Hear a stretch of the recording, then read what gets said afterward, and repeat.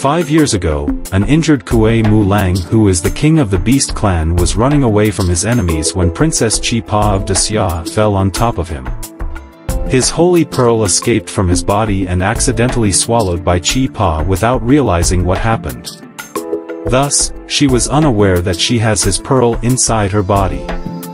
Without the pearl, Kuei Mu Lang's powers are getting weaker and weaker.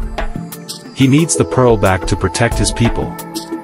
Hence, Kuei Mulang kidnaps Chi Pa and brings her back to the Beast clan whose territory and access have been hidden from view with a spell. In order to retrieve the pearl, Kuei Mulang and Chi Pa need to have mutual feelings for each other.